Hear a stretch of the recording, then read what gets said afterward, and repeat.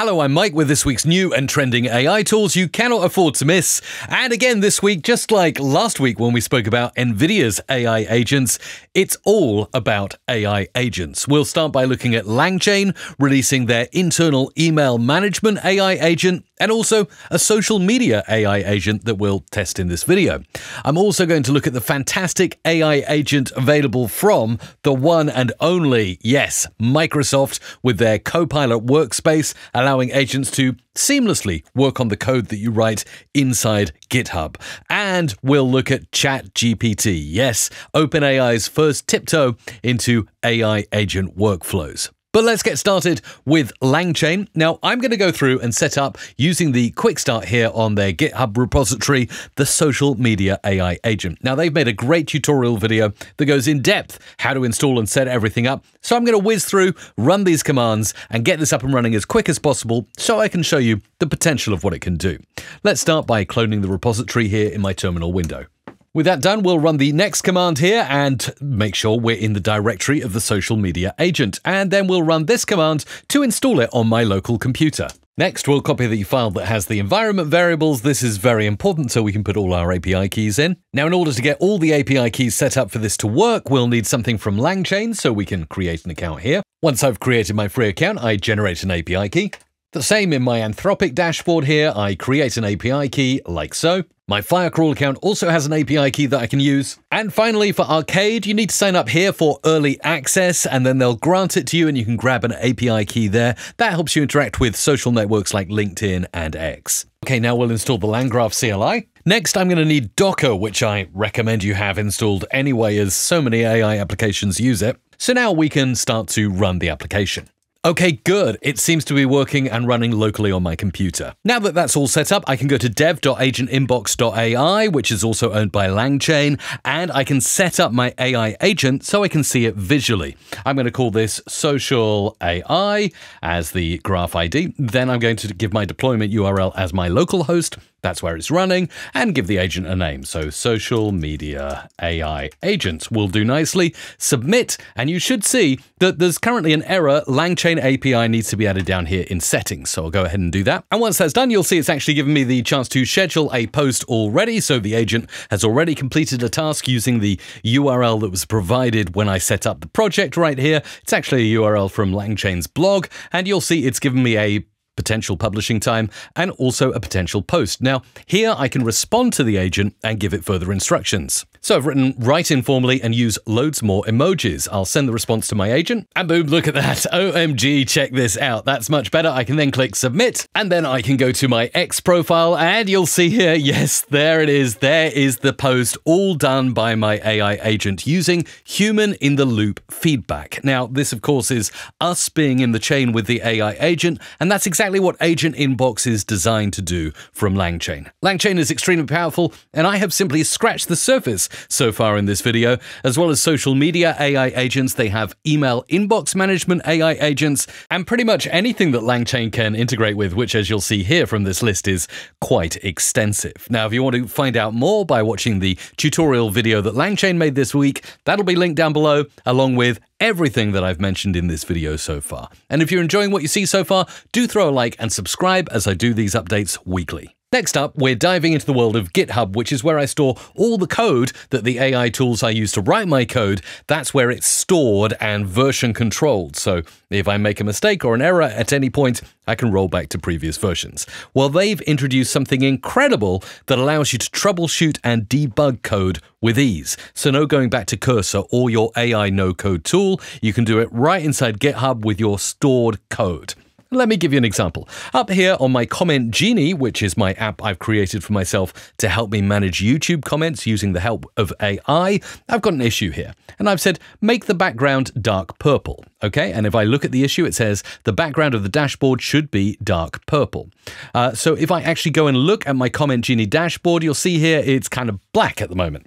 So that is the issue that I want fixing, and GitHub Copilot can do this even if you're on the free plan, which is incredible. All you have to do is open in GitHub Workspace, like so. It'll open up and it'll get your issue here, it'll think about it, and then it will give you a response telling you the current behavior that it's found in your code, and it will give you a proposed solution. And in the time it's taken me to tell you about that feature, it said no, the background is not dark purple. It's discovered the file where it's controlling the color of the background. It said exactly what it needs to do as the proposed solution. Now, if this was a more complex error to debug, you could use the suggested questions, or you could go back and forward with GitHub Copilot inside this Copilot workspace. But for me, I'm pretty happy with that. I'm ready to generate the code and apply this so I can get my dashboard from this like dark blacky gray color to that lovely dark purple. So I'll just click generate code. It goes ahead, it takes the plan and boom, it's immediately updated my code, which I can now create as a pull request inside GitHub. And when I do that, it'll automatically give it a name and a title that's relevant to the problem I'm trying to fix. And we'll click create pull request. Now, this is extremely powerful and it compares to $500 a month tools like Devin, which are designed to troubleshoot errors with your code. So, a great future stack for no code tools using AI could be writing your application inside Cursor. And when you get stuck in an error loop where things keep going wrong, just pull it into GitHub and use Copilot Workspace to try and figure out the issue. Okay, let's click and go back to my GitHub repo, and you'll see I now have a new pull request. And right here, you'll see it says update dashboard background to dark purple. And here is the code, here is everything. Now I can choose to merge that, and when I do that, it'll merge to my code. I can redeploy it like so. And now that's all done, let's click Command and R. And just like that, yeah, I've got purple. It's kind of not jamming well with my eyes, but you see how GitHub Copilot did that in Copilot Workspace really, really easily. I can go back and jam some more. In my Copilot Workspace, I can say purple, not dark enough, try again, like that. And when the code is then merged in my Git repository and redeployed, I can refresh and boom, look at that. That is uh, much better, in my opinion. Royal purple there. Uh, that is nice. And with just a few prompts, I got that all fixed up right inside GitHub using the free plan of Copilot, which is pretty incredible. Imagine the kind of problems you could troubleshoot using this. If you're enjoying this, remember I do these updates weekly, so remember to subscribe and also throw a like on this video and also share it with someone else who might enjoy this, who's struggling with their no code journey using AI apps. Let's move on to the final final thing now, and of course, it comes from OpenAI. They have dipped their toes into the water of AI agents. Let's take a look at ChatGPT tasks. So, by now, I'm sure most of you are familiar with ChatGPT. To access the new AI agent, that's basically a scheduled AI prompt, you can go to the ChatGPT model selector here and choose GPT 4o with scheduled tasks. It's in beta right now.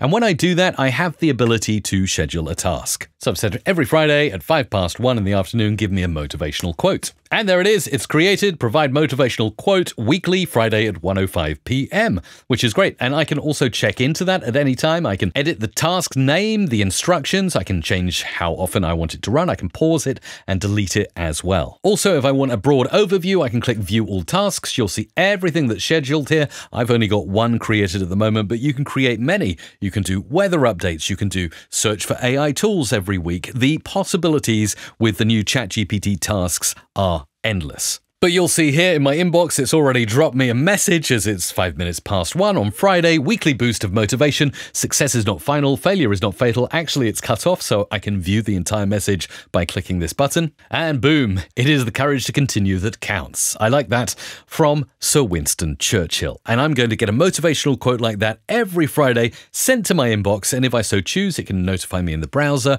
or even at the Chat GPT app on my phone as well. So as you can see, pretty powerful pretty simplistic at the moment, but what OpenAI are firmly doing is introducing us to the possibility of using AI agents to run simplistic AI tasks that can help us on a daily basis. Imagine waking up and getting a daily workout routine based on your fitness levels, or getting the time you should go to sleep uh, based on how much caffeine you had or how hard you worked during the day. Again, ChatGPT tasks possibilities are endless, and I thoroughly recommend that you go and check this out. Well, I hope you've enjoyed this deep dive into AI agents. 2025, as we know, is shaping up to be the year of AI agents. So whether you dive into the deep end and set up LangChain or just use Copilot Workspace to fix your code or even schedule a few tasks in ChatGPT with the paid account, you will be dipping your toe in the water too. And let me know what you're going to set up. How are you going to automate your life with these AI agents in the comments down below? And I want to make one thing clear on agents. Cron jobs have been around for a long time. They run from the command line in Linux, and they are simple tasks that run on a regular basis. Then we've had if this, then that, and even tools like Zapier that have done simple if this happens, then do that tasks. Those are not AI agents, despite what many people would have you believe. An AI agent is something that thinks for itself like a real human and then responds to you and does a job based on input. I hope that clears things up. And of course, as always, YouTube. Uh, not an AI agent, just the YouTube algorithm is showing a video on your screen that you should probably watch next.